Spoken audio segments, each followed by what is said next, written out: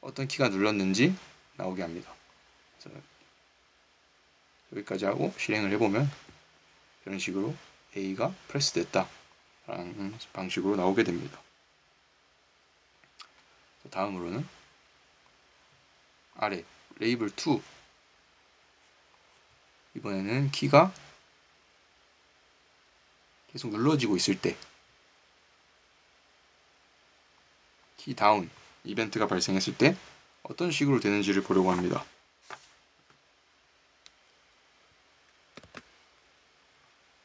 이제 레이블 점 레이블 2 아래 거기 때문에 레이블 2로 하고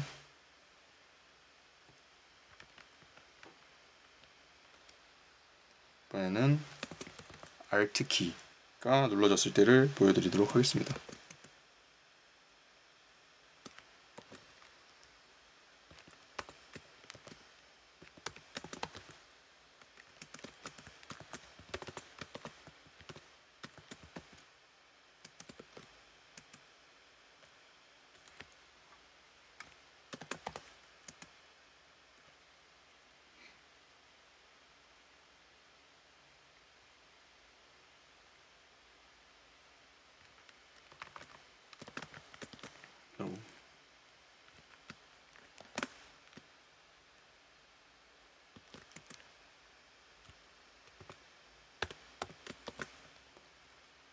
이런 식으로 만들게 되고요. 여러 문장을 출력하도록 하겠습니다.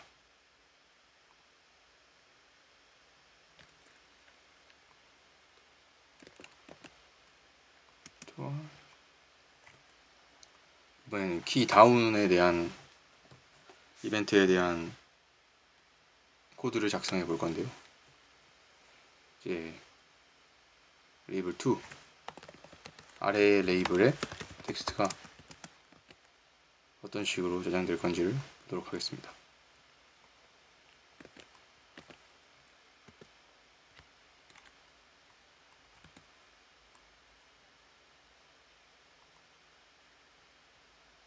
처음에는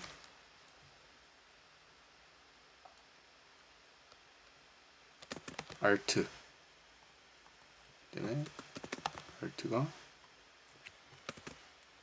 클릭됐을 때. 그리고 Shift.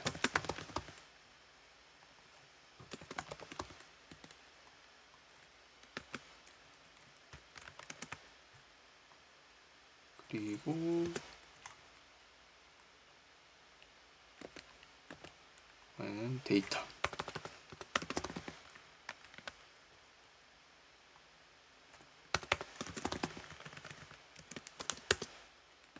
마지막에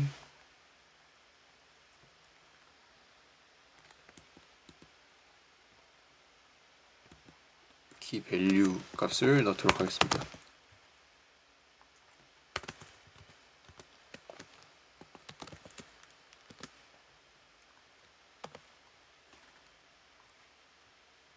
이렇게 하고 실행 결과를 보시면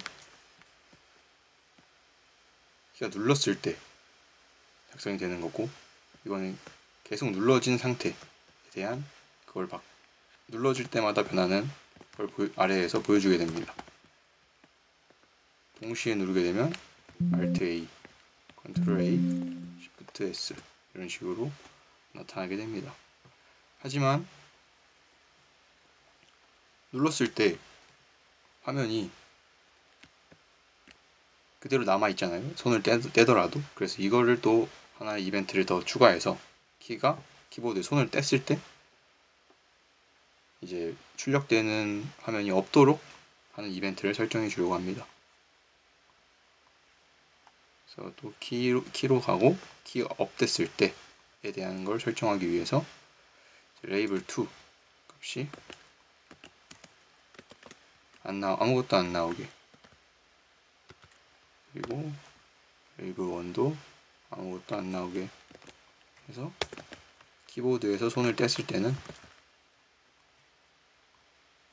방금처럼 계속 유지되는 게 아니라 화면을 끄는 화면을 사라지게 만드는 이벤트를 설정하게 되었습니다.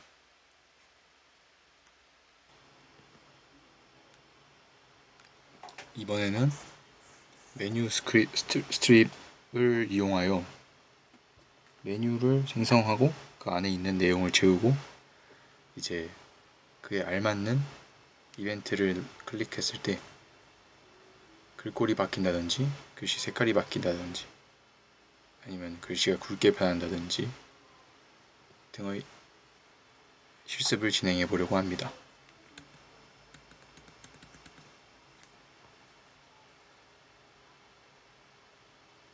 우선은 왼쪽 편에 있는 메뉴 스트립을 찾아서 들어갑니다. 그러면 이처럼 최상단에 파일 그리고 포맷으로 이루어져 있는 메뉴 버튼을 만들려고 합니다. 여기다가 파일을 만들고 그 하단에는 about 그리고 exit가 있습니다. About을 누르면은 이, 이 화면이 어떤 것에 대한 건지에 대한 설명이 나오는 거고 exit 버튼을 누르면 프로그램이 종료됩니다. 다음은 포맷입니다. 포맷에는 색깔을 바꾸는 컬러와 그리고 글꼴을 바꾸는 폰트가 있습니다. 어, 다시 위치를 변경해주고 컬러에는 Black. 어, Blue. Red를 적겠습니다. 폰트에는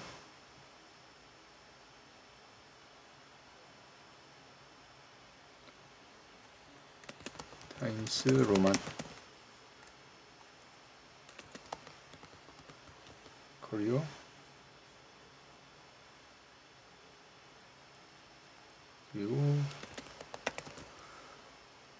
코믹 폰트를 적어 보겠습니다. 여기서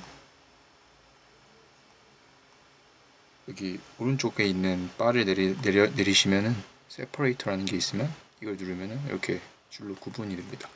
bold체와 italic체를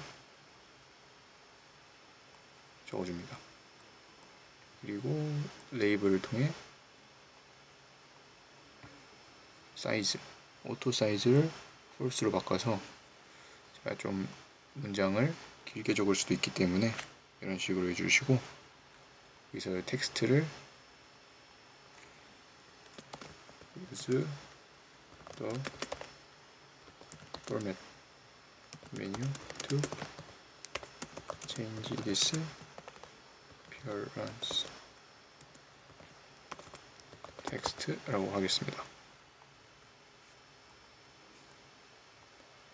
이런 식으로 해주고 처음에는 먼저 파일을 눌렀을 때 그리고 about을 눌렀을 때에 대한 이벤트를 발생시키기 위해 위로 하게 됩니다.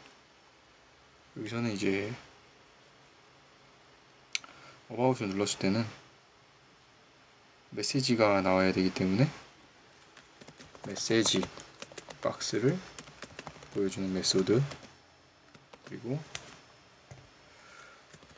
This is an example text라고 해줍니다. 그리고 창이 뜨는 창의 제목을 어떤 걸로 적을지를 적어주고 about을 눌렀을 테니까 about으로 적어주고요. 그리고 확인 버튼이 나올 수 있도록 message box에 OK를 넣어주고 그리고 같이 나오는 아이콘을 어떤 걸 쓸 건지 여기서는 information을 쓰겠습니다. 이런 식으로 message box를 작성해 줍니다. 그리고 exit를 눌렀을 때는 프로그램이 종료가 돼야 되기 때문에 어플리케이션을 종료시키겠습니다. 이렇게 실행을 해보시면